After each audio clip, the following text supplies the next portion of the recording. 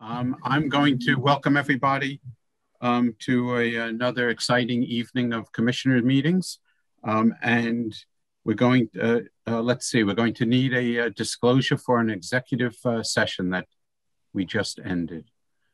Board met in executive session prior to this evening's public meeting to discuss personnel, potential litigation, matters which if discussed in public would violate a lawful privilege, and information related to the negotiation of a collective bargaining agreement.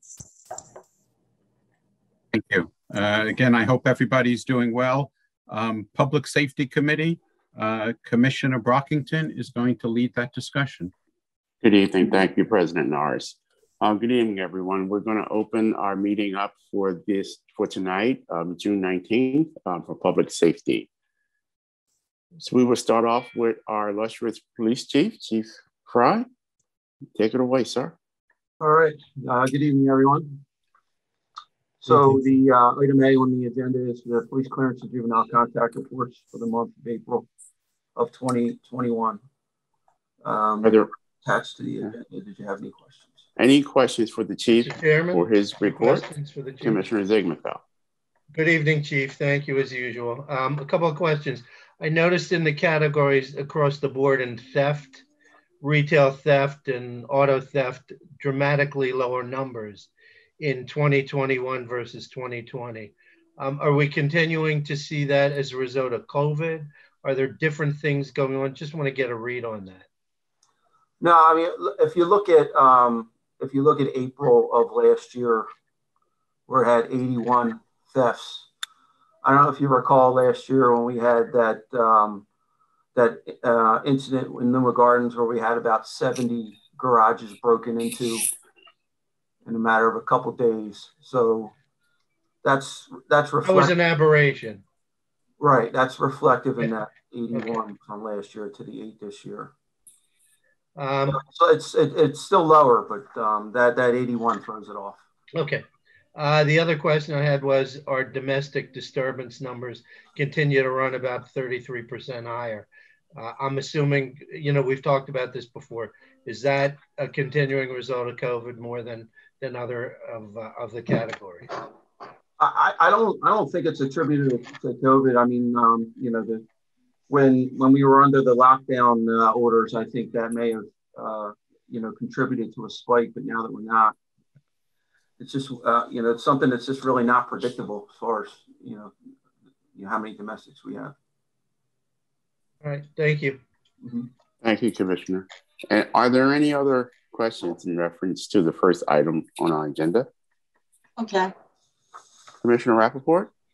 Thanks. Well, I, along along with Commissioner Sigmundfeld, I was looking at those, and what I was wondering about is it looked like the total police services to date are much higher than they were last year. A- am I right? And that kind of, um, well, I, you know, I'll, I'll leave it to you. Yeah, so I mean that's that's also when you look at April, you know, March we started with COVID in March, and then you know April kind of uh, shut everything down. So um, you know, we, we made some changes as far as, you know, um, our procedures. And, uh, you know, we did see a drop in, in total police services, but, um, you know, the, the, number on the left is more is more typical. I think uh, that 1,300 in, in April of last year was reflective of the time that we were in. Thank, Thank you. you. Thank you, Commissioner Rappaport. Any other questions from commissioners in reference to the police chief's report? All right, hearing none, I call for the, um, the approval of the police clearance and juvenile um, contact report for the month of April 2021. Dan? Oh, tonight you want me. all, yeah. all those in favor say aye. Aye. Aye. Aye. Thank you. Chief, you want to hit the second, you can do the rest also? Well, and we'll approve uh, item B is uh, to consider recommending the Board of Commissioners adopt a resolution honoring Edward Florendo upon his retirement after more than 31 years of dedicated service to Cheltenham Township, uh, to the Cheltenham Township Police Department at the June 16th, Board of Commissioners meeting. Any questions? Hearing and seeing none, I call for the approval. I, I would just like to say, uh, when we have a police officer serve Cheltenham for 31 years, it absolutely deserves a, uh, a resolution honoring him. So uh, Yes. I wholeheartedly support that. All, all those in favor say aye. Aye. Aye. Aye.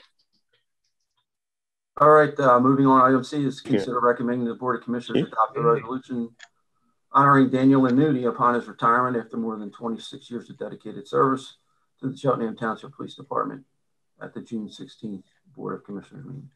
Chief, could Chief, you- I'm- if you could Dan- give us five more years. Yeah, he, he's, he's doing a great job. You tell him we're voting against this. He's got to stick around five more years. We want 31. Tell him. We- Slacker. We'll miss him. We will miss him. He Yeah. really is. He's very helpful Yeah. in the community. Yeah, we'll. He is. He's He the is. best. Yes, We're he really is. Terrific. All Okay. those- call- All those in ahead, favor Chief. say aye. Aye. Aye. Aye. Okay, item D is uh, recommend the Board of Commissioners approve a purchase order for Power DMS, the department's policy compliance and online training platform in the amount of eight thousand seven hundred eighty-five dollars and four cents for the period of August 9th of twenty twenty-one to August eighth of twenty twenty-two. It was attached to the agenda. Okay. This was an item that was uh, on the operating budget. And the, the, the invoice is attached. Are there any questions from the commissioners? Hearing or seeing none, I call for the approval of this, of item one D. All those in favor say aye. Aye. Aye. Aye. Great. Okay, All right, So- on, um, uh, item A is the traffic stop presentation. Lieutenant Snyder is on the call. Um, I will share, uh, my screen. There's a PowerPoint that he's going to go through that includes, uh, the report that we did. So, um, hopefully I can do this here. Welcome, Lieutenant Snyder, and thank you. I was going to say you're on mute, but thank you. Good evening. How's everybody? good evening, Lieutenant Good. Snyder. Thank you for presenting this report to us. This is good. Absolutely, absolutely. All right. Can everybody see that? Yep. Yep. yep. Yes, it looks good. Oh, mute. Okay, so this is a uh, presentation on a report that we compiled of all of our traffic stop data for the calendar year of 2020. Uh, next slide, Chief. I'm hitting the up button. It's not working. Try the down button. There we go. Okay, so just a little bit of background on uh, why we're presenting this information. Um, this is completely voluntary on our part. Uh, there's no legislative or statutory requirement for us to report this. Uh, however, as everybody's aware, we are extremely committed to transparency, uh, and this has been the most comprehensive review and analysis of our traffic stop data ever. Um, approximately uh, 75 to 80 man hours went into crunching the numbers here, going through the data, and presenting the report that we're presenting to you tonight. Next slide. So why are we doing this? Uh, so we wanted to review the data to identify any trends that have developed, uh, address any potential questionable practices, uh, to provide intervention if necessary via corrective measures, and again, to ensure transparency. Next slide. So the important thing to note is the context and the limitations of what we're presenting. Um, the biggest thing is there's no way that we will ever know the racial composition of the motoring public. Uh, basically, there's no way we will ever be able to know scientifically the racial makeup of the drivers that drive our roads. Uh, we can estimate that based on census data and things like that. However, it is not scientific. Uh, and there's been a lot of research done by various uh, educational institutes that basically say you cannot use the census data of a of a municipality to basically say that's the same as the racial makeup of the drivers. It doesn't take into account transient drivers, people that are driving through our township. Uh, it doesn't take into account the driving age. The census doesn't break down uh, population by driving age, people that are between the ages of 17 and say 70. And the biggest thing to pay, make note of, and I'm going to present this in a little bit, is over 80% of the people we stop do not live in Cheltenham. Um, they either live there, they, they live outside the township and are either driving through or um, some other reason why they're on our roadways. And again, the, the best guess is not scientific, and we don't want to guess when it comes to things like this. next slide, Chief. So what can we analyze? All right. Uh, researchers have been looking at this, and these are the things they look at to determine um, what, if, if racial profiling exists in a police department or if there's a disparity in race. And it's the warning to citation rate broken down by race. Basically, is one race receiving a higher proportion of citations uh, versus warnings? Um, the ratio of stops that lead to searches, basically, uh, what percentage of a particular race is being stopped and then leading to a search, and if that, if those numbers aren't the same for a particular race, that could be indicative of racial profiling. And then stop rates during daylight and darkness. Uh, as I'm sure you can imagine, it's easier to determine the race of someone during the daytime when it's when when it's bright versus uh, at night. Next slide, Chief. So just to give a little bit of perspective, um, these are the average daily traffic counts from PennDOT of some of the busier roadways in our township. And for instance, the uh, distal end of 309 uh, down by Ogontz Avenue, almost 150% of our township's population by number would drive that roadway every day. 51,000 people uh, drive along Ogontz Avenue every day, seven days a week, 365 days a year. Uh, and you can also see, you know, Cheltenham Avenue, Old York Road, uh, Township Line Road, they all have 20,000 or higher vehicles per day that, that traverse those roadways. Next slide, Chief.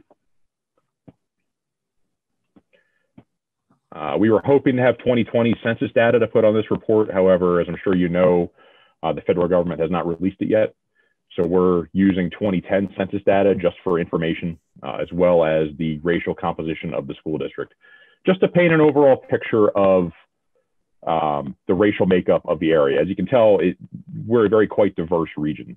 Um, we border sections of Philadelphia that are 94% black, 92% black, and we border Jenkintown Borough, which is 75% white. Uh, the township itself, uh, approximately one third African American. Um, so as you can see, depending on where um, uh, where our region is, is, is situated, we do have a very diverse population. Next slide. Another thing we're providing are, are, the demographics of people that call the police for assistance. Uh, it's important to note that over 50% of the people that call for police assistance in Cheltenham are people of color. Next slide, please. All right, so what do we have here? So it's a 2020 calendar year. Uh, we included all stops for motor vehicle violations, both moving violations such as stop signs, red lights, speeding, things like that, and equipment violations, burned out headlights, broken tail lights, things like that. And we had a total of 1,600 traffic stops in, in 2020. And as you can, as I'm sure you know, that number is way down from a typical year because of COVID. Um, previous years, we've been hovering in the 5,000 stops per year range. However, last year, due to COVID, we were only at 1,600. Next slide. Uh, we've broken them down by patrol sector. Uh, the police department breaks down Cheltenham Township into 12 distinct geographic zones for patrol purposes, as well as tracking for offenses and you know things of that nature. Um, one thing to note, uh, Sector E, which is uh, basically it's roughly bounded by Cheltenham Avenue, Ogontz Avenue, Washington Lane, and Ashbourne Road. Um, that accounts for almost 20% of the total traffic stops of the township, uh, just due to the the um, the roadways leading out of the large commercial area, you know, Target, Home Depot, Ogontz Plaza, things like that. So uh, we stop a lot of vehicles in that part of the township. Next slide, Chief. As I alluded to before, um, almost 81% of the people we stop do not live in Cheltenham. Uh, they live somewhere else and are just traversing through. The uh, citation to warning ratio is fairly constant uh, between residents and non-residents. Uh, you know, so, you know, we don't treat people any different just because they live here versus if they don't live here. Next slide, Chief. Stops by gender. Uh, again, as you can see, the citation to warning ratio is uh, fairly constant between them. Uh, we average about 44% uh, of people we stop being cited and warning about 56%. So we, we issue more warnings than we do citations. Next slide. Breaking down by race, uh, you can see 24.3% uh, white, 61.5% black, 8.4% Hispanic, and 5.8% all others. Uh, and going down the citation to warning ratio, those are fairly constant among all races. Um, uh, there's no discrepancies there. Next slide, please.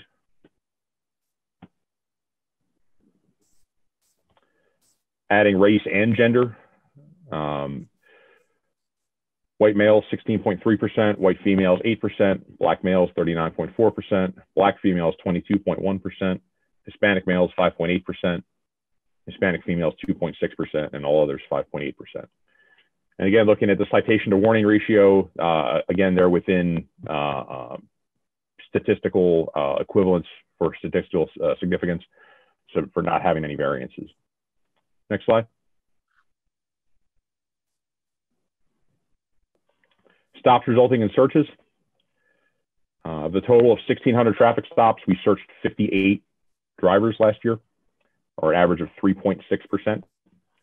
And the rate, the rates for all races fell within one standard deviation of that, uh, uh, of that sum. Um, so no one race was outside of one standard deviation of 3.6%. Next uh, slide. Lieutenant, Lieutenant Snyder. Yes, sir. Yep. Just a quick quick question on this. I didn't I didn't want to save it to the end and have to go back. No, so, absolutely. Yeah. Can you? I, I wasn't clear on the standard deviation piece of it.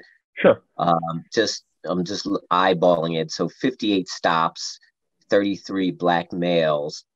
That looks like I'm just rough math, 50%, right? Because it's not it's it's not of the total. It's it's of the percentage of that race that was stopped. So 33 of 631, not 33 of. So so we're comparing the total stops for that race to the number of those stops of that race that were searches. Got okay. it. Got it. Okay. Thank you for clarifying. You're welcome. Uh, While you're stopped, excuse me. Um, yes, ma'am. Yeah, there were a couple of things I wanted to ask about earlier slides, but I, I just wonder if you'll be able to give us these slides so we can actually study them after. Oh, absolutely, yeah. We have a full six-page report that we'll provide to you um, that has all this information, um, so you'll be able to review it. Thank you. You're welcome. Next slide, Chief. So the veil of darkness test. This was a, uh, a, a, statistical test that researchers, I believe, at Dartmouth University came out with, assessing um, racial profiling in police department traffic stops. Uh, they concluded that if a minority, the, the, rate of minority stops during the day were higher when uh, uh it's easier to determine the race of the operator, that they could say um, that racial profiling exists as you can see from our statistics, we actually stop more people of color at night when you can't, With, it's much more difficult to tell a race of the operator at night than it is during the daytime. Uh, so we actually have the polar opposite of what they would describe as racial profiling due to that. Next slide, Chief.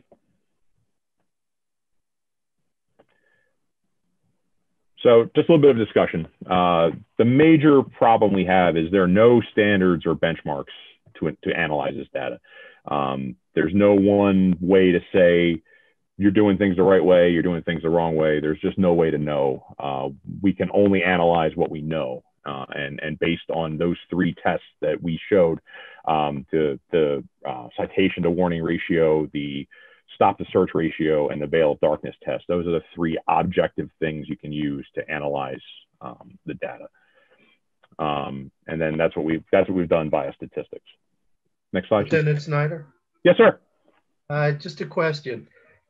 On the, this this clearly helps give us insights on the aggregate, but on specific officers, particularly when you're tracking their behaviors, do you find deviations or st statistical differences with particular officers that in fact could be attributed to you know it doesn't necessarily be profiling they could be more attuned to certain kinds of stops etc but i think one of the things that we look for in this data not so much for, for us but for you is to know that there are sometimes the need for intervention or retraining where you do notice a significant variance in, in a particular group of officers' behavior. So I just want to know if, if that's also accounted for. Yes, that's actually a component of our accreditation report. Uh, as part of our accreditation, we have to evaluate every officer in the aggregate to determine if they are statistically outside the probability of the rest of the department. So basically, if there's one officer that has a completely disproportionate number of stops to the rest of the officers, that will be something we would need to intervene with. Uh, but we do an annual uh, report on that for the purpose of accreditation. Can you, without, you know, obviously we're not looking for names, but with, with you, you know, the, the number of officers that you have, have you had to do interventions with any meaningful number of, of your police officers, uh, you know, with this particular issue in mind? No, sir. Uh, we've never identified an issue of racial profiling with any of our officers here. Uh, we've not gotten any complaints about racial profiling, um, yeah, and we've not identified any officers uh, having a pattern of racial profiling. Okay, thank you. Next slide, Chief. So again, talking about uh, our area here, uh, we are a very diverse area. Okay, we you know border sections of Philadelphia that are almost exclusively uh, uh, uh black, and, then we border Jenkintown that is almost exclusively white. Uh, but the majority of people that call for assistance in Cheltenham are people of color. and again, the vast majority of drivers stopped in, in Cheltenham are not residents; they reside elsewhere. So again, that those stops would not reflect Cheltenham's racial composition. Next slide, Chief. So the citation to warning rate, warning rate we discussed uh, is, is, statistically equal across all races and genders. Uh, the stop to search rate is also statistically equal across all races and genders. And the veil of darkness test shows where there's no increase in the stop rate of people of color during daylight hours. Next slide, Chief. As I'm sure you know, we are committed to complete transparency. Uh, we are an accredited law enforcement agency that follows the industry's best practices. Uh, we have a prohibition of bias-based policing, and we require uh, annual uh, anti-bias training. Uh, next slide, Chief. So this time, are there, are there any questions? Yeah, I have a small one. Yes, sir. Lieutenant, um, the veil of darkness. Yes, sir. Uh, are there any applications in there about heavily tinted windows where you also can't see into the car? It's so difficult to. That's not a metric that we would have to track that in real time. Basically, the officer would have to make a notation of whether or not they knew the operator's race at the time of the stop. Um, but but but not knowing that, like going back and reviewing reports, there's no way to know that uh, in the, you know, without doing it in in in real time. Okay, thank you. I have a question. Um, sure. Yeah, Lieutenant Snyder, uh, great report, much appreciated. We appreciate the transparency, the information, uh, and frankly, the good work that you and the police department do. Um, so uh, perhaps a self-serving question. Is, is the police department permitted to give favoritism to residents? specifically commissioners, but let's start with so, so as part of our, as I'm sure you know, our, our, our oath of office uh, uh, precludes us from taking pretty much consideration of, uh, of, of any personal factor into how we enforce the law. So uh, we enforce the law objectively, no matter where the person lives, um, you know, what kind of car they're driving, anything like that. So, so those uh, we do not take into consideration whether they're open or not when we make a stop versus warning decision. All right. I'm sorry hi, to hear that, but thank you. Lieutenant yes, Snyder, this is hi, this is Commissioner Brockington. Yes, sir. Um, I was sort of writing some notes down, uh, and I'm looking forward to sort of digesting the whole report. Um, the one thing that I noticed that I guess being a father of three daughters, uh, you know, the numbers you had for white women being pulled over was eight percent, and Black females was 22%, which seems to really be a, a, a big difference for, in my eyes. That absolutely that big, you know, is I, I see. I don't know if you want to use the word privilege or I, I'm I'm so uncomfortable when I see that that 22 to 8. That's a big difference in in you know getting pulled over in our, Sure. our township. So I'm a little concerned about that. Well, and again, going back to the beginning of the report, we don't, that may be a completely proportionate number of stops. We just don't know the racial composition of the people on our roads, Mhm. you know, and, and, and, and we will never know that. There's short of looking at every vehicle for a statistically significant period of time and identifying the race of every driver. There's no way for us to know. Um, you know, we, we're providing some background to, to make an educated guess, but again, we, we don't know. You know, all, all we can do is look at how we treat people after we stop them. Um, there's again no way for us to know what is proportionate and what isn't proportionate prior to the stop, if that makes sense. Yeah. Thank you. And I would like you to make this presentation at the July Civil Rights Task Force meeting. Um, Absolutely. You, can- you know, I'll Yeah, get absolutely. the, the dates and stuff to you, but I, I would like it. Yeah, absolutely. No problem. there. Thank you. Any other questions from the commissioners? Yeah. Mr. Yeah. Chairman. I'm sorry. Yes. Who Uh, we I'll, go, I'll go after. I'll go after Matt. Go ahead, Commissioner Arman.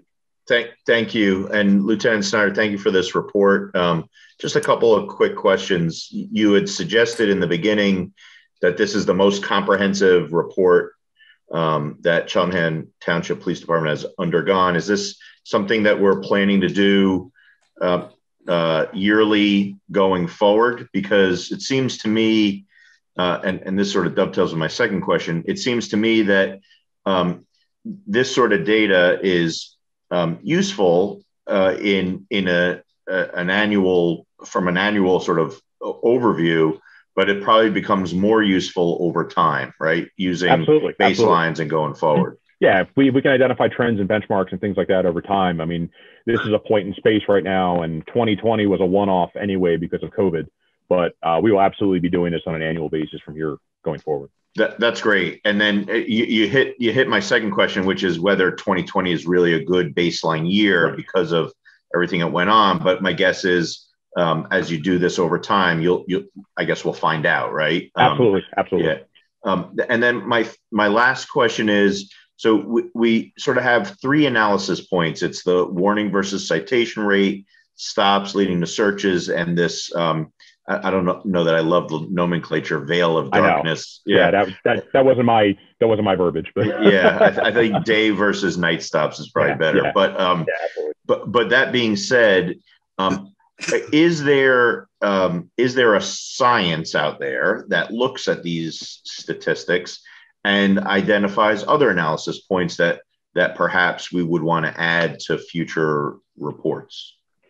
Sure. There's uh, various papers been written by various researchers uh, affiliated with educational institutions, as well as the Department of Justice, uh, examining statistics on a large scale, like talking into the hundreds of thousands to millions of traffic stops.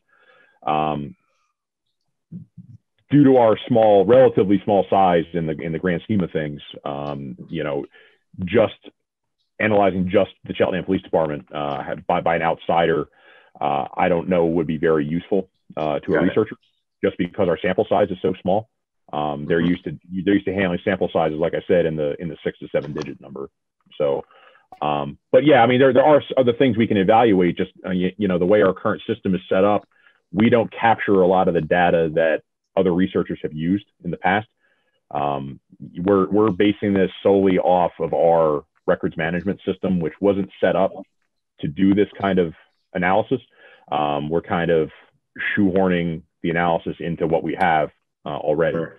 Uh, however, we we are looking at potentially capturing additional data in the future. Uh, it's just going to be a matter of what we can make our records management system do for us.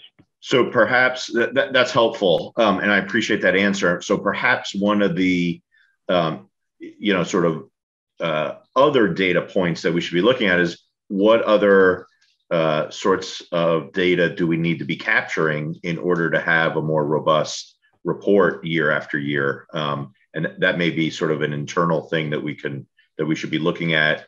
And, and obviously, if we need to update the records management system, uh, then that's perhaps a recommendation that the police department would make to the to the board or something like that. Oh, there we go. Sorry, I was frozen for a second. Oh, that's okay. There we Thank go. you. All right, thank you. Yeah. Thank you, Commissioner Areman. Commissioner Holland? Yeah, real, real quick. I just wanted to go back to the sector slide, if we could, Lieutenant. Yes, sir. Uh, Chief, can you go back up to that? And I know, and I know Sector E is, um, you know, a very busy sector. That's the sector where I live. So I know, and and and a, I guess a sidebar really quickly. Um, I've seen an increased presence of uh, officers, you know, sort of, you know, doing their paperwork or, or monitoring traffic in the medians and different places, you know, specifically in that sector. So that that's that's great and that's appreciated. Um, and I know that's a, a very busy sector. What what would be our secondary sort of sector? Like what area of the township in relation to what what letter? So basically, um, with with we have a map with this drawn on it, but I, I didn't include it. But essentially, the south half of the township uh, accounts for 63% of our traffic stops. So basically, um, below Ashbourne Road, across basically the width of Cheltenham Avenue, um, would be 63% of our traffic stops. So basically, the part of the township that borders Philadelphia is the busiest for our traffic stops due to where the roadways are located, uh, commercial districts, things like that. Whereas the northern half of the township tends to be more residential, uh, isn't as busy with traffic volume. Um, so those those stops don't um, they're, they're not as many stops in in that part of the township. Um, but F sector, for instance, that would be um, basically Township Line Road, Washington Lane, Old York Road, and then down to Church Road. Um, so we get basically those those are stops that happen on Old York Road, Ashbourne Road, uh, I'm sorry, Church Road, Washington Lane, and Township Line Road. So basically, sectors that have major roadways tend to have the most number of traffic stops, if that makes sense. Yeah, no, that, that makes total sense. So the, the only thing that I would say to, to just pay attention to, and this is great information, and I appreciate the transparency, um, would be if if 80% of the people that we stop are non-residents and 60 plus percent of the stops are on the south side of the township, and you know, I don't know if this is fact or not, but I will go out on a limb and say that because the south side of the township borders a part of Philadelphia that is predominantly African American, then and most of our stops are happening on that side of the township, you know, by just numbers, you're going to be stopping more African Americans than you would in in other areas of the township. So I would say just just pay attention to sort of you know the part of our township that borders Philadelphia versus the part of the township that borders Jenkintown and how those those two borders play against each other in in the the number of stops and the obviously because of the location there will be a difference in the racial composition. But you know it, it, you know if we if we heavily heavily stop in one area and and it's not matched in another area that could be looked at a certain way sure, um, sure but, but I get all the traffic is on this side because of right, right. yeah, it's just I mean it, it's it's basically just a secondary, you know, it's a secondary uh, uh, uh, uh, issue due to how how the test is configured, and that's yeah. basically we we respond to complaints of traffic volume things like that. But you typically our stops end up being on the most heavily traveled roadways, and that's just how, you know, it, it's just how it ends up. Yeah, and, and it just so happens that those heavily trafficked roadways border up uh, 95% black section of the city. Correct. Correct. So, yeah, I, I get it. But One thank you. Question, Lieutenant Snyder. Yes, sir. Um, I was wondering, in the the small number of searches that you do, what types of violations have you identified? And typically, you know, what are what are the the kinds of attributes of those stops that that make them a little more you know, a little more severe, a little more challenging? So we require all of our officers to document their specific objective reasonings for either requesting a search or searching a vehicle. Uh, you know, we don't search cars based on hunches. We don't search cars based on, you know, hairs in the back of your neck. The officer has to have objectively reasonable uh, uh, reason to search a vehicle. Uh, you know, typically it would be for the odor of narcotics, uh, odor of marijuana, or uh, something in plain view, a firearm, something like that. Um, uh, we didn't for this, but we can actually go back and look and, and, and see what the searches were for. Um, that was a kind of a last minute addition to the report. And as I'm sure you know, our records administrator had a very severe case of COVID um, that he tragically almost died from. Uh, so at a time we were able to get a part-time person to do his job for us we were well into this year. So this, we would have liked to have had this data out a lot earlier, but we were um, behind the eight ball with getting it collected. Sure, and, and just to pick up on your comment, with the expanding use of medicinal marijuana, does that change the guidelines, in fact, for that the way that you proceed when you do quote unquote sense or, or identify that odor or whatever? Oh, absolutely. You know, if, if, if, if we do detect an odor of marijuana, but the person, you know, has a medical marijuana card or identifies themselves as having a medical marijuana card, uh, we can't use that as a reason to search the vehicle. Okay, thank you. You're welcome. Hi, Lieutenant Snyder. With the, Yes, the um, what's up here now, the stop by patrol sector, I know for me, it would help a little if there was just a, maybe a, a location next to those alphabets. I mean, I know that Absolutely, you guys, I, you guys know it by heart. You live it, Right. you say it every day.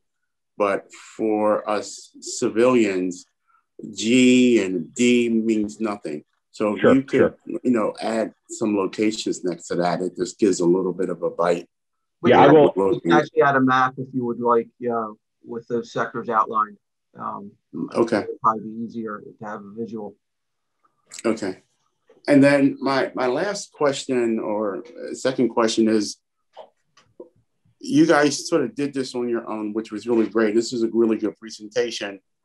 How would you guys feel if this was done by an independent party, that it wasn't done by our police checking on our police, that it was if it was done by an independent auditor or someone like that who came in and gathered your numbers? Um, I, I want to know your feeling on that because this was basically you guys doing it yourselves, which I'm happy with, but I wanted to know your feelings on that. Yeah, no, we look, like I said, we're completely committed to transparency. Um, you know, these are, you know, we we we have nothing to hide, so we have we'd have no issue with having somebody else take a look at the numbers and do their own analysis. I mean, the numbers are the numbers. Um, Okay. You know, we we haven't tweaked or changed or you know done anything the, to the raw data. You know, the raw data is the raw data. So I mean, they can Okay. you know analyze it in any way that they that they see fit. Okay. And then um, any other questions from commissioners? So what I'm going to do, I'm going to take Commissioner I, I. Rappaport. Yes, I'm sorry. Go. I couldn't see you. Uh, I, well, I, I had a few earlier, but I'll, I'll postpone those for another time. Uh, first of all, thank you, Lieutenant, for the presentation. Really appreciate it. I'm curious as well um, about how those numbers would look if we divided moving violations from equipment. You said at the beginning that this included uh, all of them put together. And I wonder if there are any differences, and I don't expect you to answer this tonight, but I wonder uh, if it would look pretty much the same, and also by sector number. Um, and you we're talking about, um, you know, the stops uh, uh, relating to the volume of traffic, and I suspect we have a lot of traffic coming off of uh, 309 coming into the township and, and all that. So I would think, and up Easton Road and Limekiln Pike, um, I don't know. I and, and of course our state, you know, the state roads. Uh, uh, so I'm curious also uh, about the, these sectors and if the sectors are actually patrolled in a sense with the same uh, the same priority in a sense. You know, you, you talked sort of about the expectation that certain sectors are going to have more traffic, more, you know, whatever, because they're in a certain place. And I just wonder if that also colors the, the way the numbers actually fall out. You know, we know that expectations is going to, you know, might might change what we look for and therefore what we stop. So the way So we deploy, just- ju- just to put things in perspective, so the way we deploy our officers, um, every officer is assigned two patrol sectors as their beat. So we don't throw all the officers to one location in the township. They're equally spread out. So every officer assigns their particular sectors.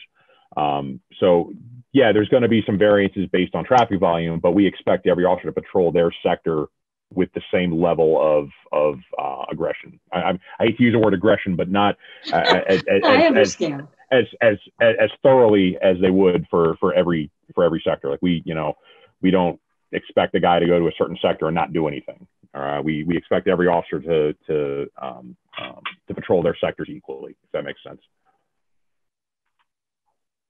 Thank you. Irv, back to you.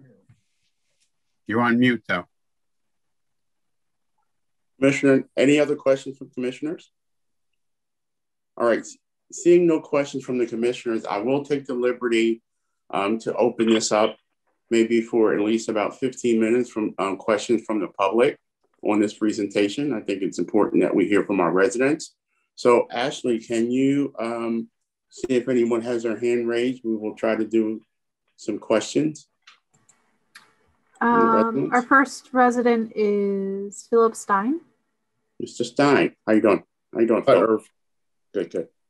Lieutenant. I have a question. Th thanks for getting all this together.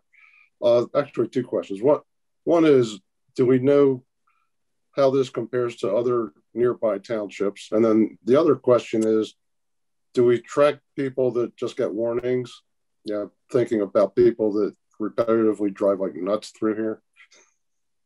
Yeah. So uh, as of right now, we're the only township that's collecting and publicizing this data. So we can't really compare ourselves to anybody else right now. Yeah, thank you.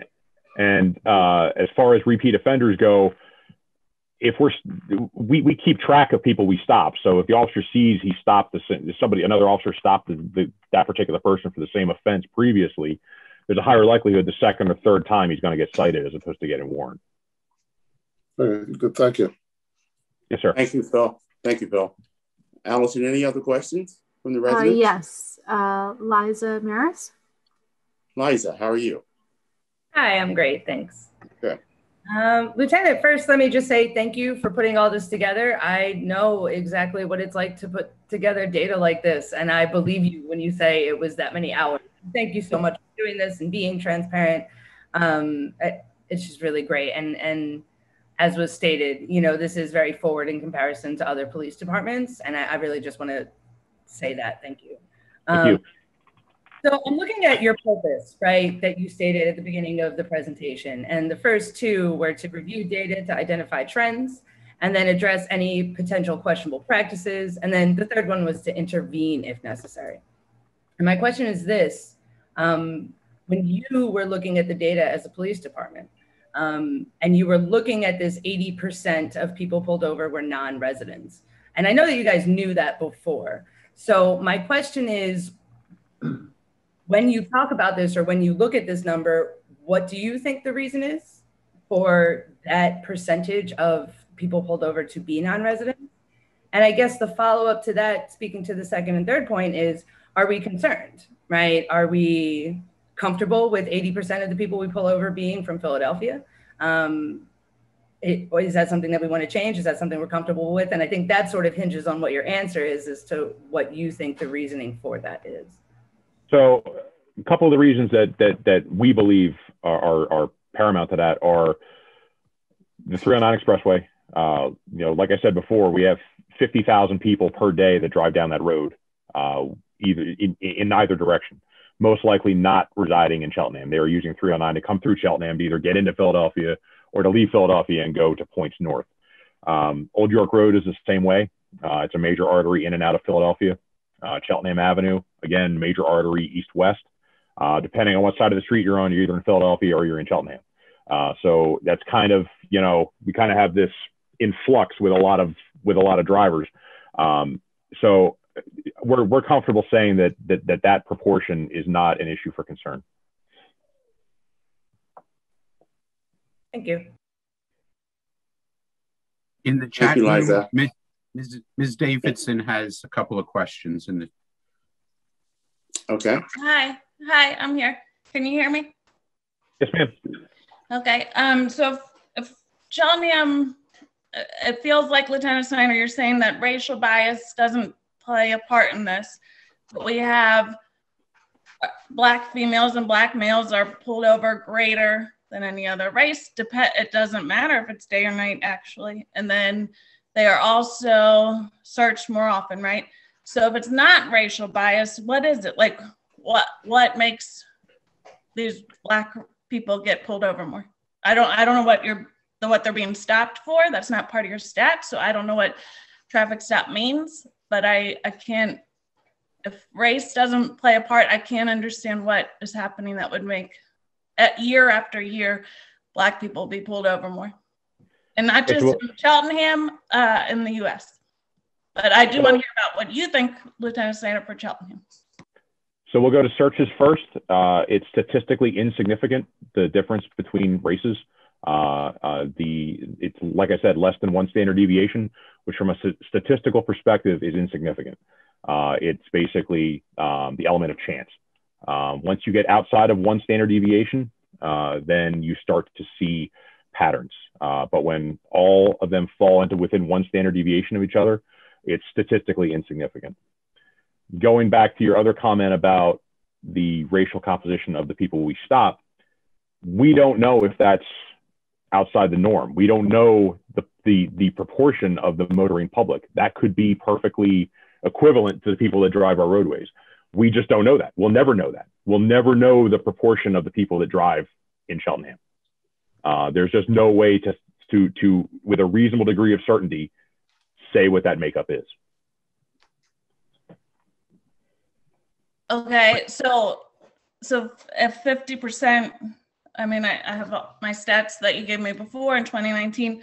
So I, I'm to believe that fifth, everywhere I drive in Cheltenham, fifth, or average day, most of the drivers are black. And that is why, that is the only reason why most people stopped are black. Correct.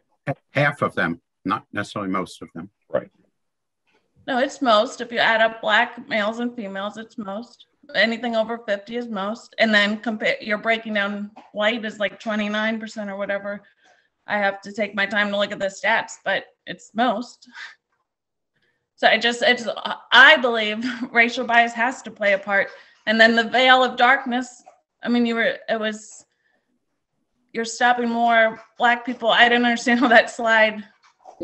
Like I heard what you said, but it didn't to me, you were like, Chel- not you, Cheltenham Police Department is stopping more Black people during the day than night. You have to look at the proportions. You, have to, help me understand it. you have to look at the proportions, not the numbers. Okay. Uh, because we, as a department, we stop, we do more traffic stops during the daytime as a whole.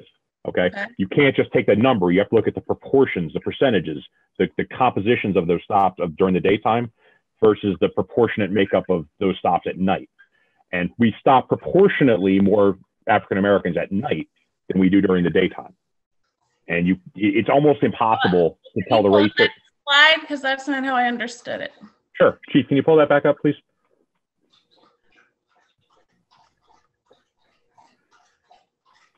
There we go. Okay. So look at the percentages. Mm -hmm. Okay. During the daytime, 36.2% are black male. At night, 44.3% are black males. So we're right. stopping. So we're stopping proportionately more black males at night than we are during the daytime. Okay. When it's more difficult to determine the race of the driver. As, as a police officer, you know, I'm a 17 year veteran of this police department. It is almost impossible to tell the race of a driver prior to walking up to the window. I mean, I can guarantee you that it's it, it it's just the way it is. And at night, it's 99.99% impossible to tell the race of the driver before you make contact with them. Okay, thank you for explaining that. Uh, but again, like the numbers are still just, I just, it's hard for me to believe that we have, if you add up 349 plus 206 for the daytime, right? If you add up the right. black that were stopped versus the whites were stopped, I just don't think that just matches our, matches the population of wherever they're from.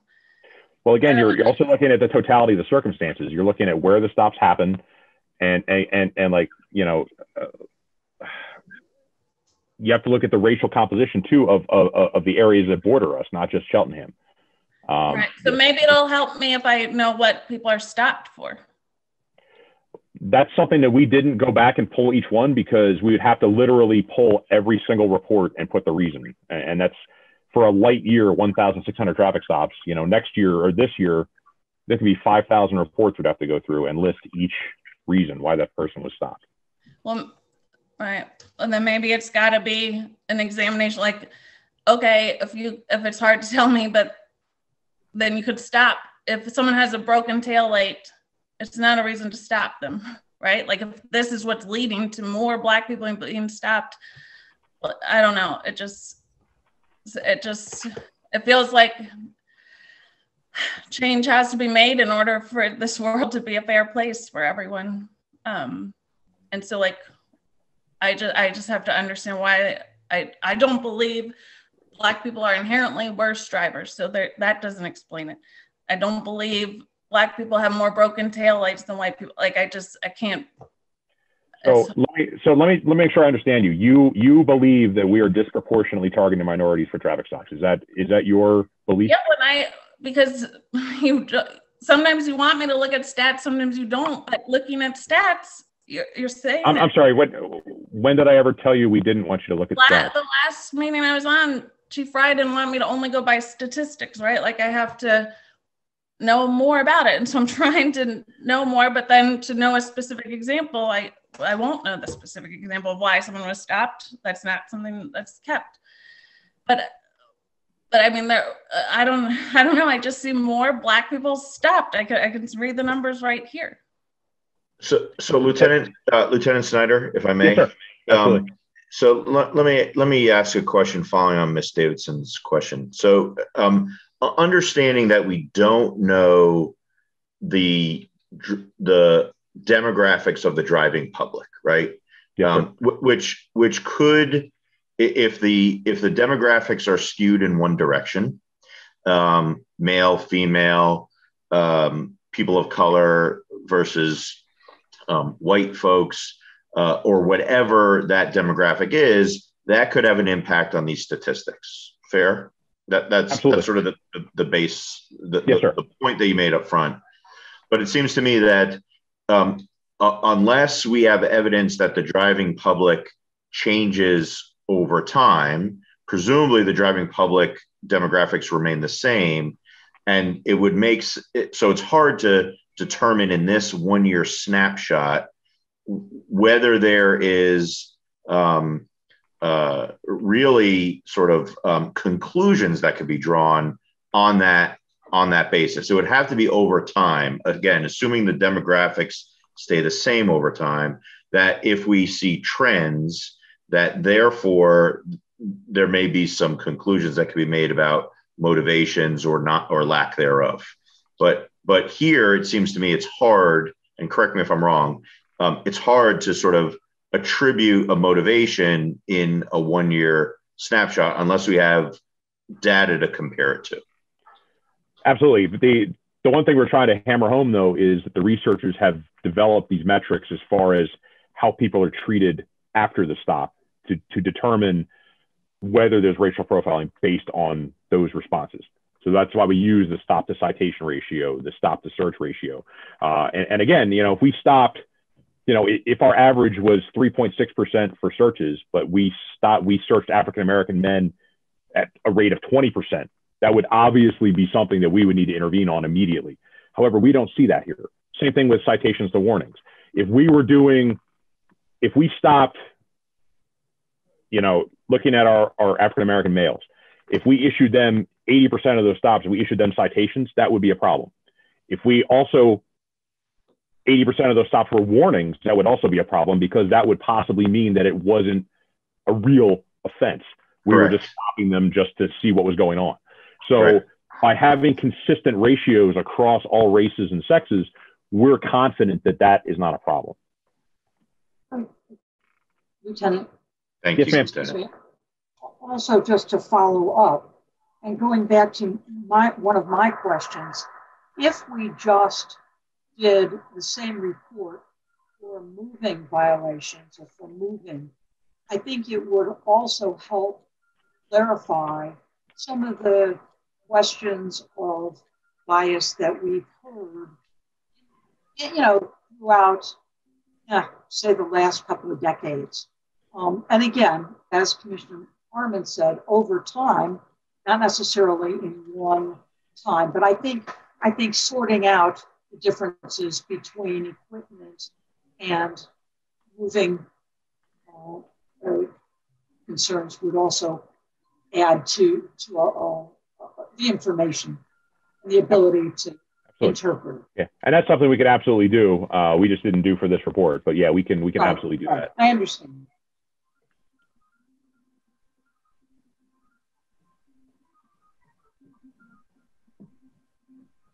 Commissioner Brockington. Sorry, I was on mute. I apologize. Are there any other um, questions from any residents?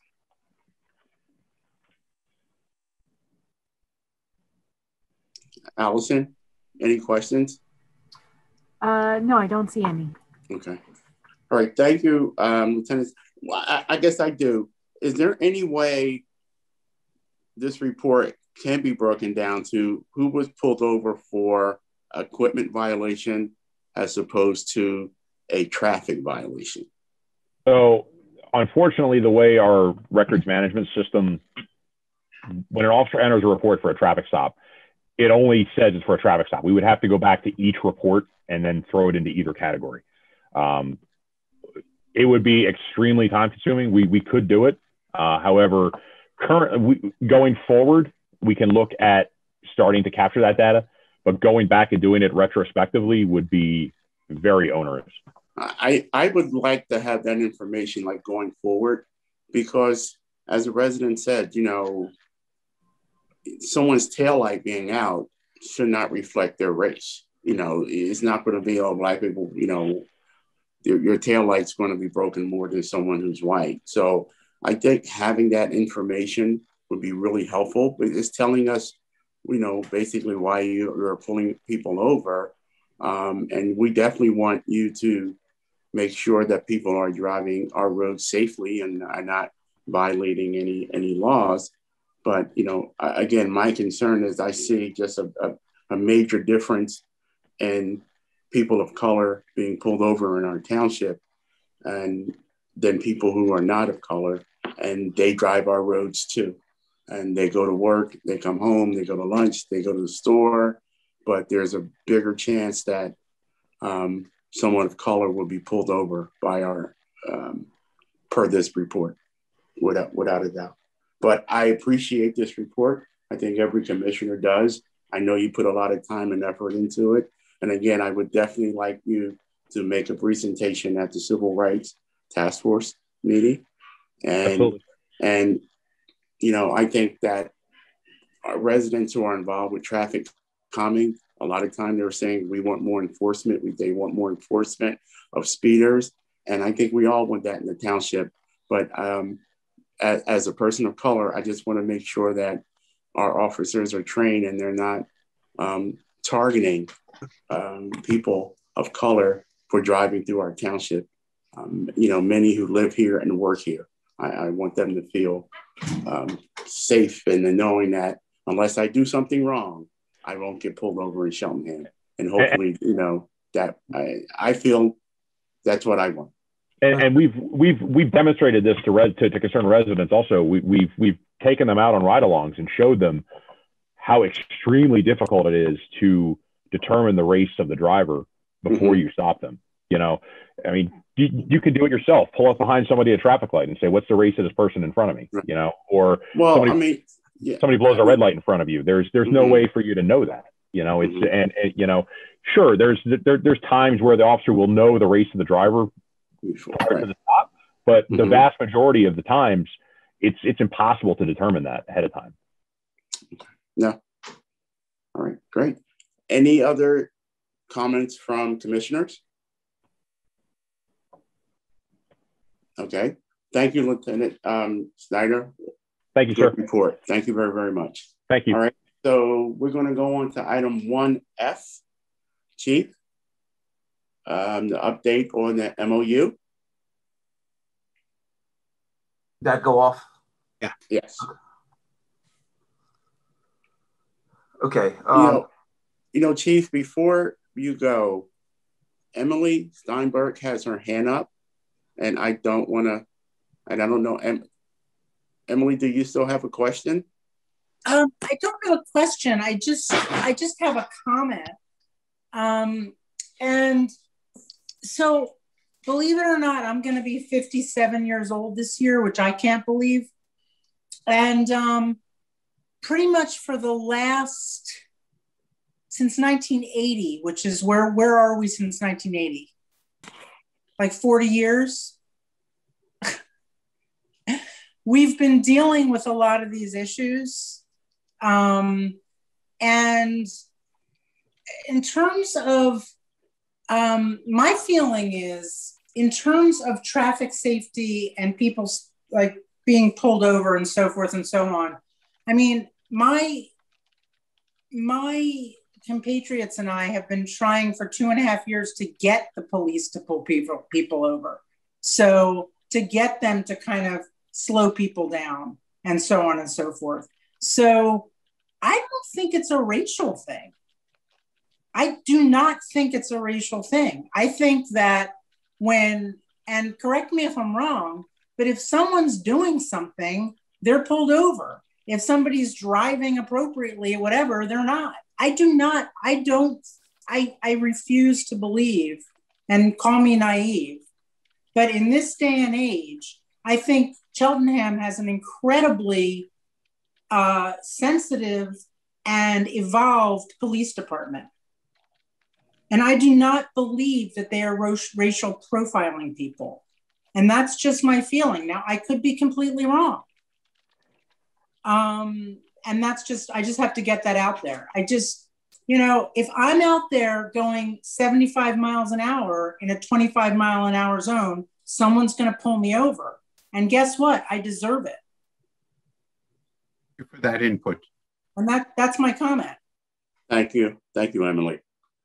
All right, Chief, we're going to go move on to uh, the MOU for the school district. Okay, um, thank you.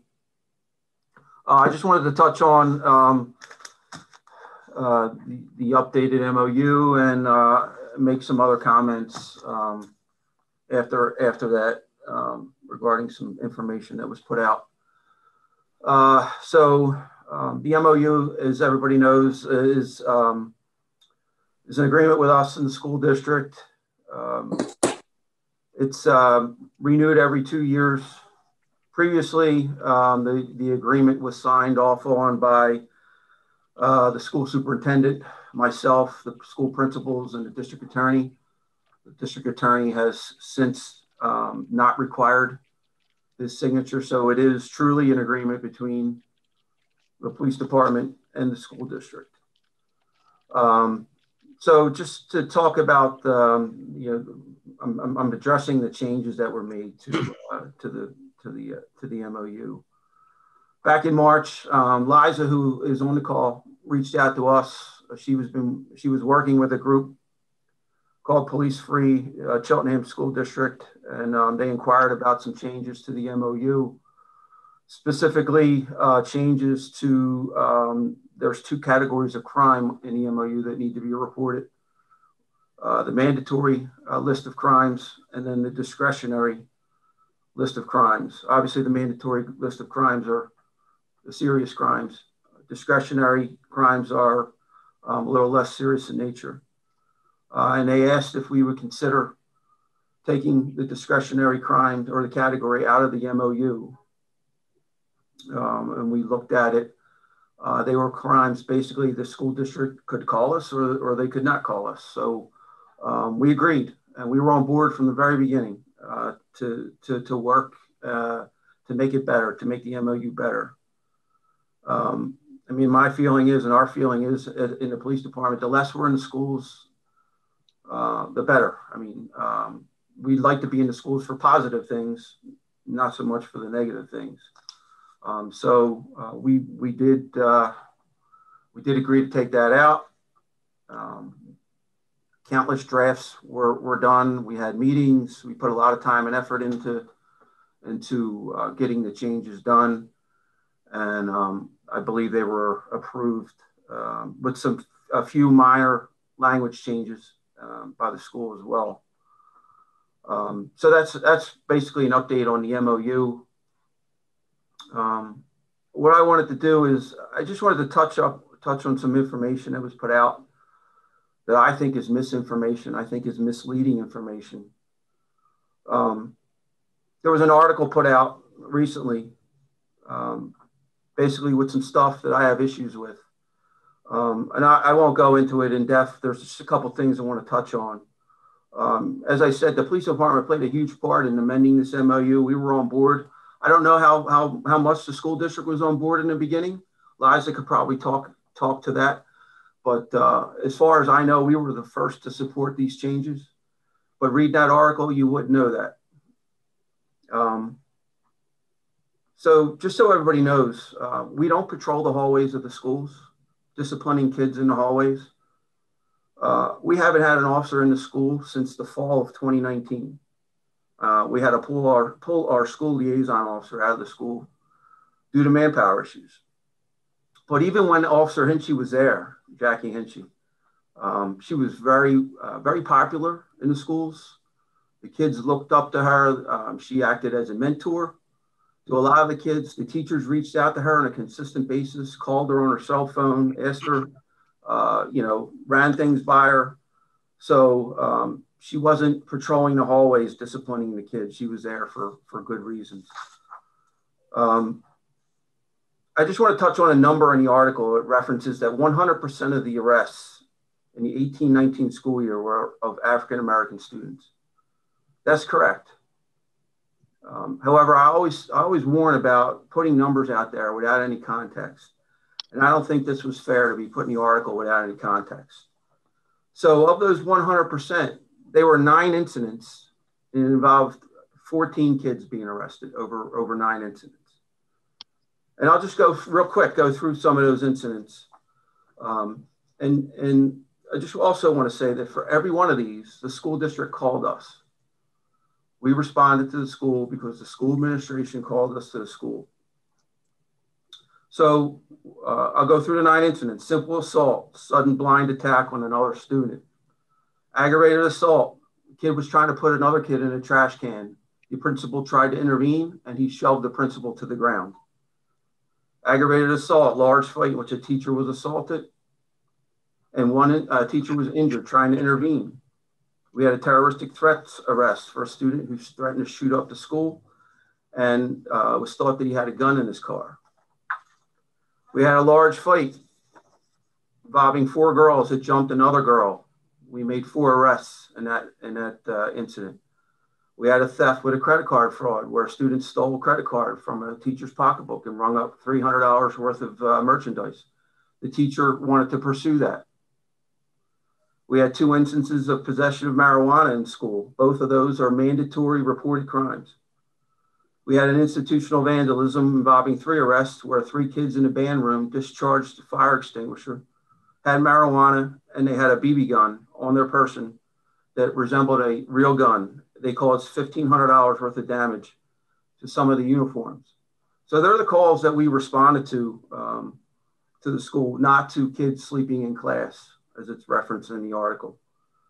Um, you know, a number of these incidents too, there's victims. So the police department has an obligation to protect victims, to stick up for victims, and to uh, ensure that they they receive the justice that they they, they want. And for most of these cases, um, two of them in particular, uh, a teacher and a principal wanted to pursue charges. So I just wanted to touch on that. I, I, I thought it was important to clear up you know, the number that they put out there. It makes the police department look bad, I think, when you put 100% of the arrests with no context. Um, and it doesn't touch on the fact that every time we're there to, for, for an arrest, we're not necessarily walking kids out in handcuffs. We do a lot of them by juvenile petition. And for every single one of them, we're called to the school. Uh, I just, I was really disappointed with, uh, with that, with that article. So I just wanted to, I thought it was important to get that information out there. That's all I Thank have. you, Chief. I, I, I, and you did a really excellent job presenting that and getting your side out there. Um, I, I personally want to say, and probably you know maybe the other commissioners want to check, want to chime in. I'm I'm really happy with the new MOU, and I know you are, and and and I and we support you with that. Um, I, I, don't want our police to be used as a discipline tool. And, and hopefully the school district is doing some training with their staff because I'm assuming, you know, you're getting calls from the teachers or the vice principal and um, on some of these issues. And um, I, I, just don't think that our police should be there for discipline. If there's an issue, there should I agree be. with you 100%. Yeah. 100%. Yeah. So I, I again, we I, I, back you on on this completely. Commissioner Norris, I see you have two fingers up like a Boy Scout. Yes, I wasn't a Boy Scout, but uh, um, uh, Chief Fry, uh, I want to uh, uh, second what Commissioner Brockington just said. Um, frankly, the the article uh, was unfortunate the way it was written and the way it was portrayed, and we in we the commissioners, we in Cheltenham, and you as the head of the police department, actually should be appropriately stating very proudly that we have a new MOU with the school district it is better, it's improved, and and this is a good thing. Um, and it shouldn't have been portrayed uh, as uh, something that we weren't in favor of, as you correctly stated. Um, uh, you know, whether you initiated it or not, uh, um, I understand you initiated, but I'm just saying the the police department in Cheltenham was fully on board with the revision uh, and the school district, and it's a good thing in Cheltenham. So thank you. Yeah. I want to take a, um, a little bit of time right here to also thank Liza Maris for her input and, and, getting involved with this. Liza, just on behalf of our the Board of Commissioners, we definitely want to thank you for what you did. I know you played a big part in this, so thank you very, very much. Any other comments or questions from commissioners on the just, MOU? Just very quick, if I could. Commissioner Areman. Yeah, uh, I just want to echo the uh, the the thanks and gratitude to Chief Fry and the police department for the hard work. I know, um, uh, you, you, know, th- these are these are difficult issues, and um, uh, and it, it's going to result in in what I think is real change um, in the relationship between the police department and the school district, as well as um, the students of the school district, and and your work, the work of uh, uh, Ms. Maris and uh, uh, Police Free CSD uh, to accomplish this is really um, commendable. So thank you for that. Mr. Chairman. Commissioner Ziegler. Yeah, Chief, I just wanted to compliment you and the staff and obviously Liza, because if you read between the lines, I think directionally the MOU, you know, seeks to decrease uh, interventions, and, and reports of less significant incidents. And those are the things that really bog down and confuse the, the problem. I think what you've laid out is the fact that with the serious incidents, we do our job. And the, the, the critical thing is there's two different um, entities that have to be involved here. It's the administration and the teachers, and it's the police. So we have to make sure that on the school district side, they're doing their part using the right criteria and taking guidance from you in order to be able to avoid all those incidents that have, you know, quote unquote, the potential to escalate. So congratulations. And so much of this, you know, has been triggered by Liza, but also in trying to get things done in a proper fashion. So, you know, press reports, uh, aside, um, the acknowledgement here is legitimate, and we're the ones who understand why it was done and how it'll have a positive impact. So thanks, Chief, to you and the staff, and to Liz as well. Thank you. Thank you, Commissioner. Any other comments from commissioners on this? Hearing and seeing none. Um, Joe, do we need to vote to sort of uh, approve the MOU from our end? Uh, Commissioner Brockington, I don't, Liza has her hand raised. Oh, Liza does. I'm sorry. Go ahead, Liza. Thank you. Um, I just want to back up uh, Chief Fry and say that even I think he's being humble in his recounting of the tale, that um, his input and support was absolutely instrumental in order to prevent kids from having their lives irreparably harmed by a police record um, because mm-hmm. we've just seen that it's not just in Cheltenham. The three schools that have a Black population over 40% are the three schools with the highest number of police referrals across the county, right? And that this is something that's very hard to tackle, you know, and it's something that's very hard to, to turn the train around from a lot of the law and order policies that started coming out in the 90s. Um, it's hard to undo things once they've been happening for 30 years. And um, I really just want to say that like Chief Fry's courageous leadership and commitment to doing the right thing um, really was what was bringing about the, the equitable learning environment. Um, I, I spoke to Chief Fry for like three hours and he was on board. It took six months of organizing and getting community support and, and just hassling and hassling and hassling of the school, right? So I also want to say that this 100% number um, is, is, it's not what we want, right? We don't want the 100% of the arrests to be Black. And I think that we should not discount what the school, what role the school played in that right? Because the school's numbers are, are equally disparate, right? So if it's 55% of the population of the school is black, it's 75% of the detentions are black. And then 85% of the suspensions are black, right? And then even slightly more than that, more like 90% of the law enforcement referrals are black. So, so you had half the population being 90% of the referrals before Chief Fry even shows up right? Like, so it was already a disparate situation when the school picked up the phone.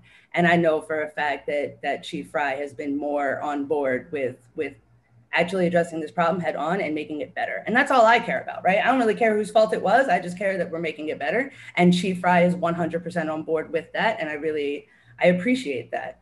Um, I, I also was disappointed um, that the article didn't tell that part of the story. Um, but I mean, that's sort of over now and we can just move forward. But I, I, am happy that the article in general was like positive. It was a positive article about Cheltenham. It was a positive article about moving forward. Um, and even though that number was stressful, and even though this is like tricky stuff that we're dealing with, I, I don't know. I think it reflected well on on all, everyone that was involved, and that's you know like has Cheltenham's name on it. So um, I just want to thank you again, Chief Fry, and then also all the commissioners for for your support as well um, because it really is a huge change, right? This is this is hopefully going to make a large change um, for each kid because I don't I don't know how aware people are, but like children don't receive due process in the same way um, that adults do, even in the county, right? That our children are a very vulnerable population, right? And any way that we can protect them, we should and and I'm I'm really optimistic and excited about all of these changes, you know, and I think that we in Cheltenham are taking steps that other people are not in order to protect our children, mm-hmm. um, and particularly yeah. our children of color. So, Mr. I'm sorry, go ahead. Well, well done, yeah, Liza. Yes, well Very said, quick. Liza. Thank you, Commissioner uh, Areman. Two two things. Uh, Commissioner Pransky, you might want to consider writing a letter to the editor to balance the scales so it shows up in the same publication where the article showed up. Um, also, Chief, to echo what everybody else is saying, eh, thank you. An extraordinary job you're doing. And if we keep this up, he's going to need a new hat to fit that head in there. It's going to get so swelled up. So, Mr. Chairman, if I may, Commissioner Areman, just one more point that that shouldn't be lost here as we um, uh, sort of give give uh, credit where it's due is that um, the other aspect is that uh, my, my, guess is that Liza and and um, other groups are not done with this with this endeavor here in Cheltenham. That, that that Cheltenham could potentially serve as a model for other um, relational MOUs between school districts and police departments, and that is something that um, we should all be, I think, very proud of. Um, so. Right uh, yeah. I just want to make that one other point. Good, Thank good you, point. Well said. Well said. Yeah. So, Commissioner Brockington.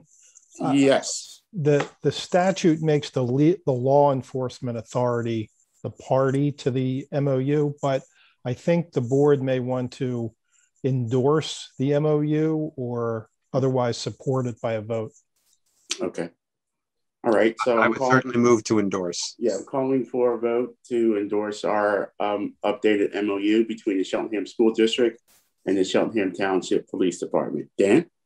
All those in favor of endorsing the MOU, say aye. Aye. Aye. Aye. aye. Thank you. Thank you very much, Chief. Great reports tonight. Lieutenant thank Snyder, thank you again. Thank you, We're, we're going to move on to the report from the Fire Marshal. Mr. Lynch.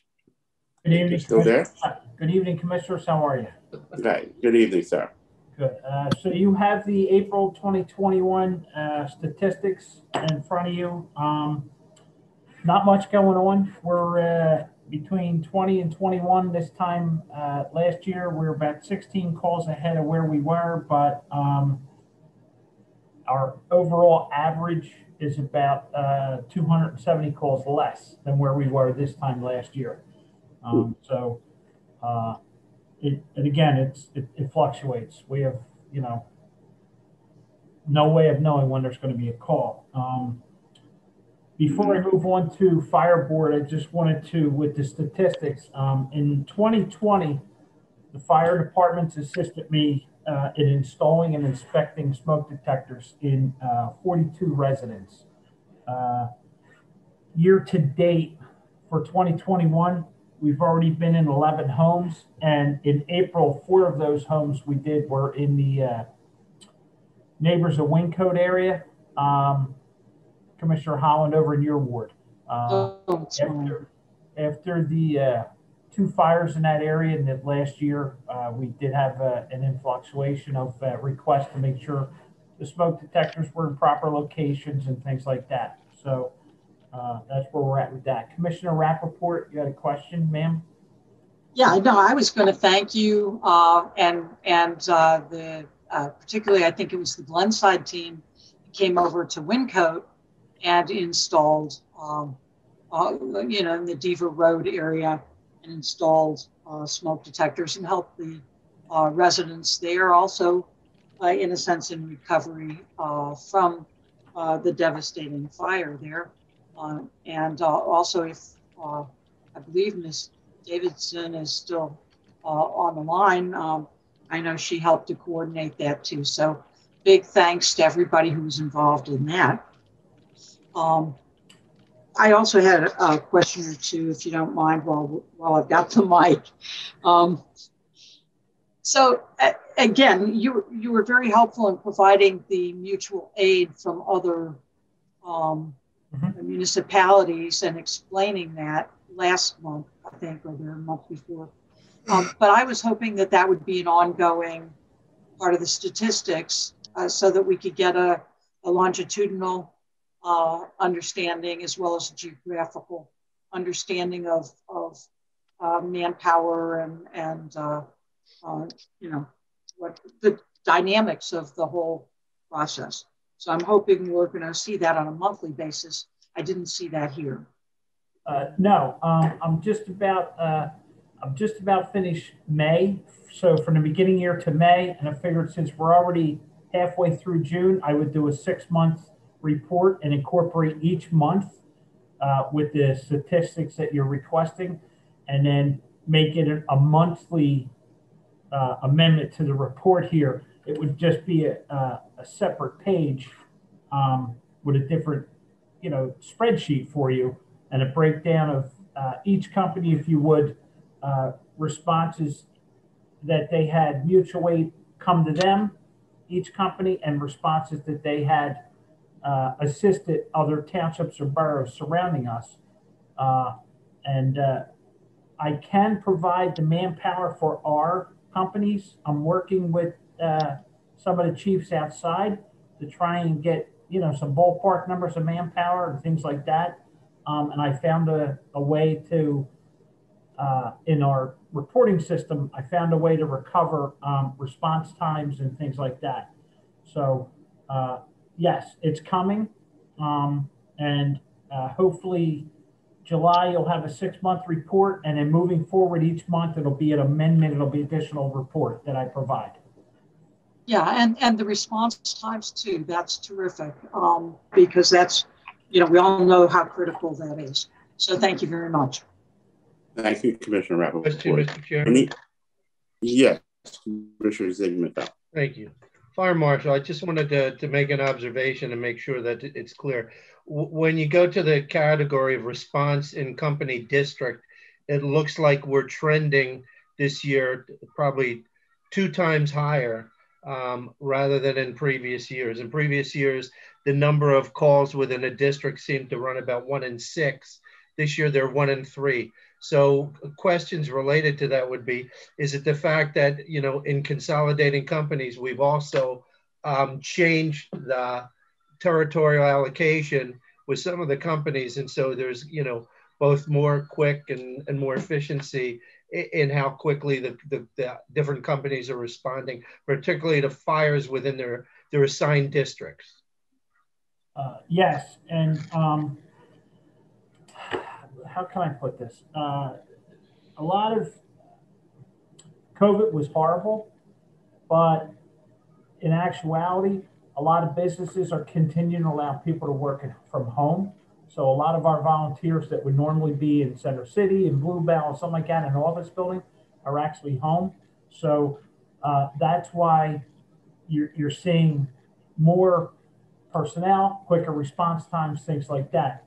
Um, as far as uh, more territory to cover, uh, it's it's not really a significant increase um, covering the additional area uh, because for the last seven years that's been happening already.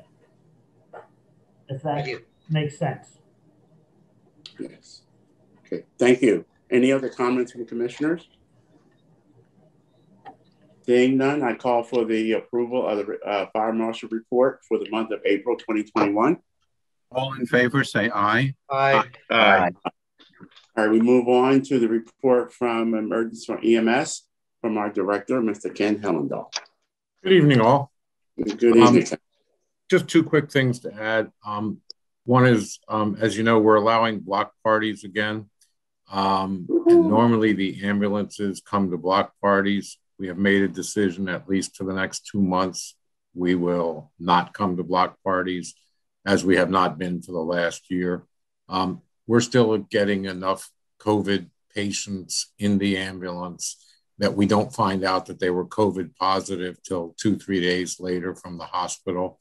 We don't think it's fair to the residents and the kids who always want to climb in the ambulance to take that risk. So um, we'll we'll see what the COVID patients are come August and um, may start coming again. But we, we don't think it's fair to our crews or the residents to take the chances of getting COVID. Um, the other thing that'll be in next month's report, but we may need your support before that. And it's something that myself and Chief Fry talked about earlier this week. Um, mental health um, is becoming an increasing um, concern for both the police department and EMS. Um, and um, while we all have training in it, um, the the ability for us to take people to an appropriate facility to get treatment is declining um, for various reasons. And I, I don't want to take up the whole um, next 20 minutes. Um, there's already an ambulance association meeting about it. Um, we have the people from um, what we call Building 50, which is the Montgomery County Health Services, um, have asked to have a meeting with us. Um, and we may ask for your support with the county commissioners for more money um, for the services that are out there. This is a, we are now seeing the result of COVID um, and mental health calls are increasing every day. The police see it, we see it. We're working very well as a team, but we're we're I don't believe that um, we're, we're we we are providing the best service we can, but I'm not sure they're getting what they deserve and need um, after we take them wherever we can get them to go. So um, we may ask for your help with a letter of support once we know what direction we're going in. Thank you, Ken. Any any questions in reference to EMS for the month? Yeah. Commissioner Yeah. Commissioner Rappaport? Um, and I, I'm, I can't remember whether this is EMS or EMA, but as long as we're on it.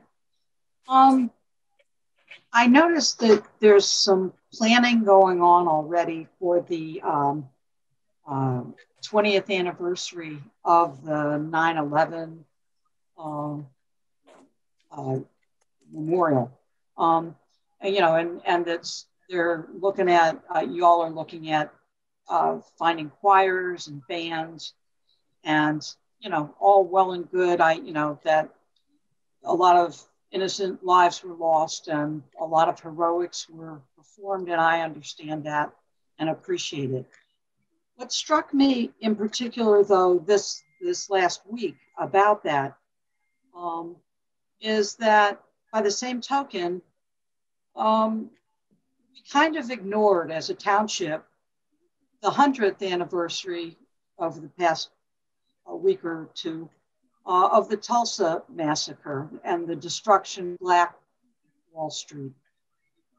And that just makes me uncomfortable. And I want it on the record that we need to, um, we need to, again, make sure that we are sensitive um, and, um, and that we are not skewed in our perspective um, and ignoring other huge impacts um, just because, you know, of, uh, you know, a perspective or a popular uh, theme or something like that. So I just, I want to make sure that um, that concern was on record. It's just a strange juxtaposition, doesn't, doesn't make the 9-11 celebration or memorial any less important, but it does, it does raise other concerns about what we view. So thank you. You're on mute, Irv. Thank you, Commissioner Rappaport. Well stated. Commissioner Zygmund-Felt. Um, Ken, Ken, I did have a question. Uh, we have, you know, with our current healthcare provider, um, and as we review the possibility of maintaining or shifting, that relationship, uh, they always make the representation that they provide a significant number of uh, additional services for either our residents or, or for uh, employees of the township. And I assume in cases, you know, if we're talking about EMS or firefighters or police, people that are both paid as well as volunteer. I'm wondering if you've explored with our current carrier and if part of the criteria as we look into the potential for evaluating and shifting, if there are some service lines that in fact cover this, that we can have both off-premise and on-premise counseling be made available, particularly if you're recognizing with COVID and to Commissioner Rappaport's point, the, the memory of 9-11. Some of us were in New York that day when I was working up there, so I know very well what went on. I wasn't all that far away. So I'm just wondering if there's some things that, that you've explored or if we need as a board and as a management group to be able to look into that. Um, I do know, um, having used it when I came back from 9-11, that um, they they do have counseling services uh, across the board for you know all all employees and the responders in particular. Um, due to the nature of what we do, and I don't want to speak for the police chief, but the county has a specific team for first responders that need psychological care and the CISM team. And we use them, and they've been in Cheltenham multiple times for all the emergency services. They are fantastic. For people at EMS that have had personal issues with personal calls, um, we have reached out to what Divot provides, and they have been outstanding. Um, we also, um, you know, the EAP program honestly has been very good. Obviously, it's personal as a department head. I don't know about it. I just know that several employees have said they've used it and found it to be excellent. Thank you. Thank you. Any other comments from commissioners? All right, seeing none, I call for the approval of the Emergency Management Service Director's Report for the month All of those April in favor say 2021. aye. Aye. Aye. Aye. Thank you. All right, I Ken, have- we'll move on to Emergency Management Coordinator Report for the month. Um, I have nothing to add to the report except a little bit of good news for her, bad news for me. Um, the 25th of the month, um, Kim will be leaving on maternity leave. So she's pretty happy. Uh, I'm losing my right hand person for a while. Um, but they've been trying for a long time to have a baby, so we're all very happy for her. So I just um, didn't want you to look for a report from the deputy coordinator next month because the only report will be that she's not sleeping very well and the baby's awake. So um, we all can congratulate her. Long time coming. I just want and, to make the board aware. Please, please wish her well from the Board of Commissioners. I will. Thank you. And I have nothing else to add. All right. So we will re, re um, even though there was no report, I will ask for their approval of the. All those in favor report. say aye. Aye. Aye. All right. We're moving on to the report from our township manager. Thank you, Mr. Chairman. Uh, I will take my three-hour presentation uh, down to probably five minutes, if that's okay. Uh, no, I want three hours. Okay. All right. Well, very good. Um, Put it in public works. um, just an update, a quick update on the solar stop sign installation. Um, I want to thank Public Works for the installation of those. Um, some of the feedback I know from myself sitting and uh, monitoring that uh, and spoke with Sergeant uh, Tyler this afternoon in his monitoring. Um, we've noticed that people are slowing down. I think those who were going to roll through stop signs will continue to roll through stop signs, even if there were searchlights and flashing lights and those, they would still continue to do that. Mm-hmm. Um, I know that uh, our public works director was at a event and residents came up to him and that live right around these signs and commented to him that they have noticed a significant difference with people stopping with those being out there. Um, so we'll continue to the test program on those. Um, and uh, I plan to myself go and knock on some doors of residents in those areas where the signs are at um, and just get their feedback from residents who live there 24 7, 365. Um, myself, uh, the police, you know, they're not there all day to be able to monitor that. And uh, I'm sure people will be more compliant uh, with a police car sitting there not far away. But I know talking to the sergeant today, it seems like people don't really care if there's a police car there or not, they continue to roll through the signs uh, and they will be enforced uh, by our police department. Um, so uh, I know that uh, Allison, if you wanted to pop that up real quick, um, and we just stepped through the signs and install. I know Irv, I believe your committee touched base on those yesterday. Mm -hmm. and they, uh, again, we'll continue to monitor these as part of the traffic calming. Uh, one segment of this, uh, we know that we have to make a correction on Tookany Creek Parkway where the pedestrian signs are, which uh, Public Works has monitored, Notice people do stop for those when people are within the crosswalk. So uh, something we'll continue to go through. Alice, if you just wanted, you could just step through them relatively quickly. Um, of the installs, uh, I know that the sergeant mentioned today that uh, we'll probably look at some of the higher crash areas uh, in the township uh, to potentially uh, look to add maybe a set and try hey, hey, higher crash can, areas. Can we can we go back one, Allison? Can you go back? That one there. Now, my understanding that sign is actually in the wrong location. That it should be on Jenkintown and not Tookany and I should be on Tookany Creek and not on Jenkintown. We will look into that, Chief. I don't know if that's the correct one. I know that there's a stop bar painted on the ground there, so we would have to remove the stop bar if.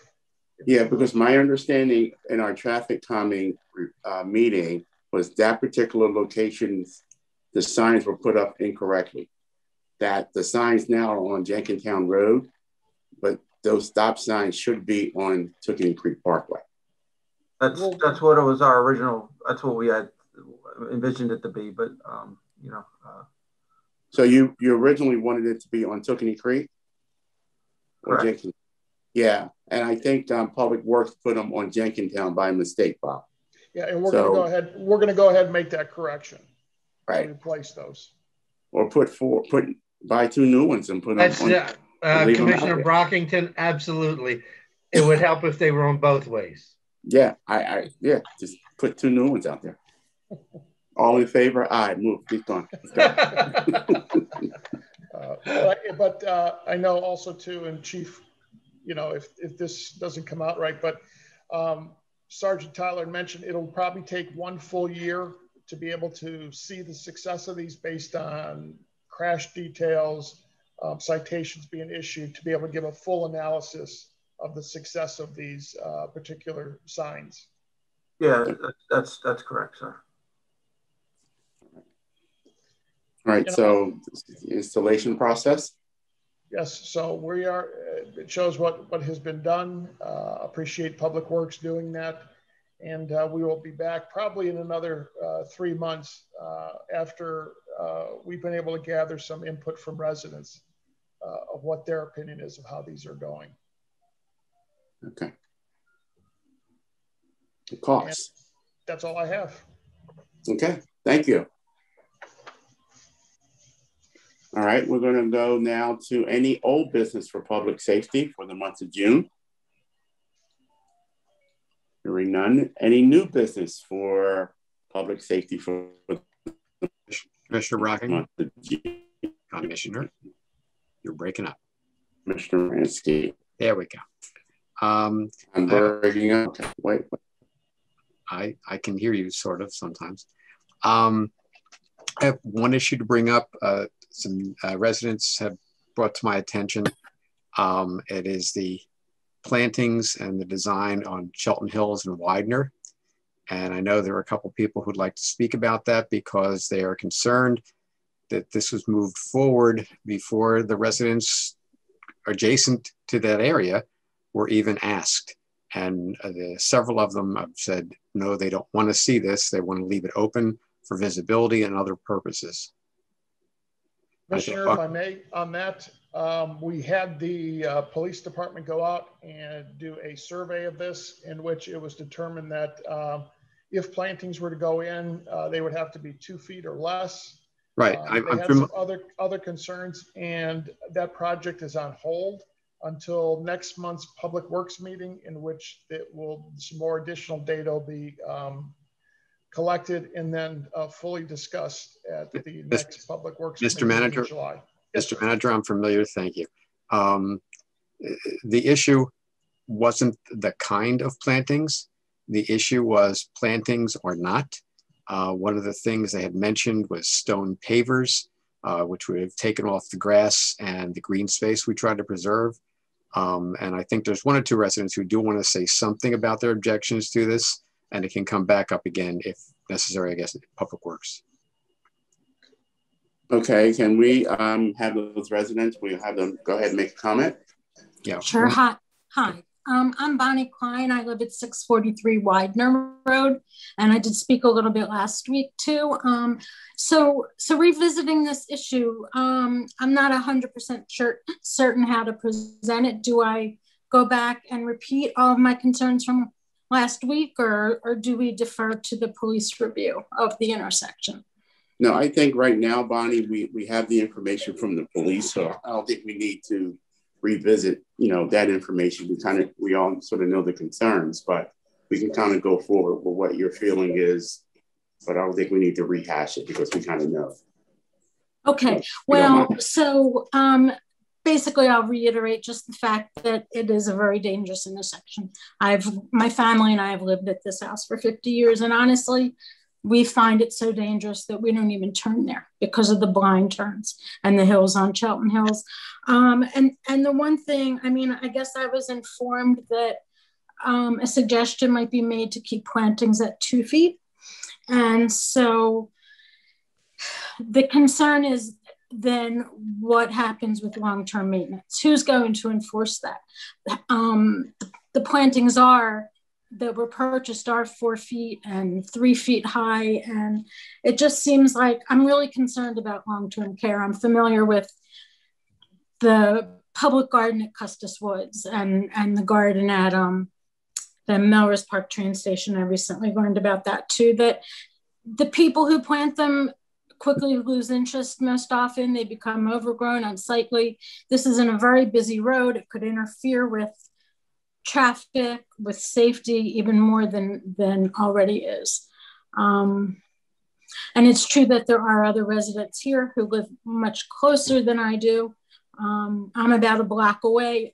I'm an avid gardener. That's something else I really want to emphasize. I actually think that the idea of a butterfly garden in Elkins Park or in the township would be wonderful. I just don't think that this is the best location. And I believe um, that maybe a location like the Rock Lane Park, which is away from traffic, it's already a green space. It might be a beautiful location for it. And it just, I'm very concerned about the safety issue. And again, just like uh, Commissioner Pransky said, um, preservation of green space and um, and safety, not only to the cars, but to the pedestrians who might be there to enjoy enjoy the space. Um, so, thank you. Do you have any thank questions? You, or you're wel- you're welcome. Thank you. you Are there any other residents? Brad, is there anyone else that you know want? I, I, I, I see the James Scott profile is trying to talk, but I'm hearing no sound. Can you unmute James? No, There they are. they're unmuted, but they're freezing up. Tur- You're try turning off your video and talking. Let's, we'll see if your sound comes through. Or try mine. Can you do that screen share too, Brad, of that picture? Because I think they might want to talk about that. Uh, the unfortunately, the way you sent the picture was not a JPEG, uh, so that might be a little bit difficult to do. Hmm. okay, sorry.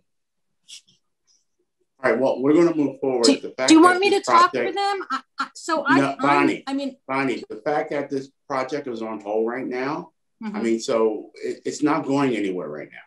And I think Okay. that, you know, we we understand everybody's concerns. And I think that once we are, you know, are ready to get this train moving again, with the residents' voices will be heard and we will see what happens at that point. But right now, this project is on hold.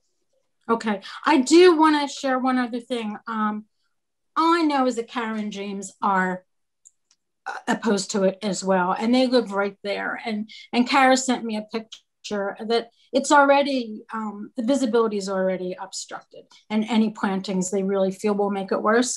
I also did receive an email from their neighbors, Erica Witherspoon and Jeff Schindel, who live at 616 Widener Road, and which is also pretty much adjacent adjacent to the area in question.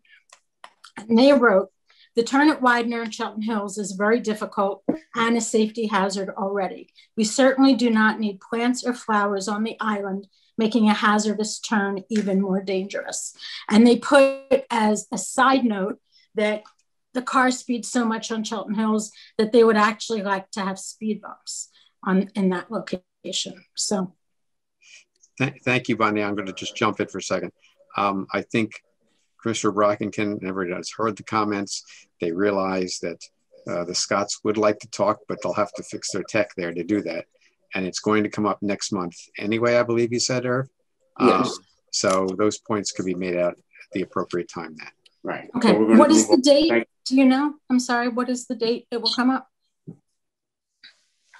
July 7th, I believe. July the 7th, Bonnie. July 7th. And will it come up at the commissioners meeting next week? No. No. No, It's on hold. okay.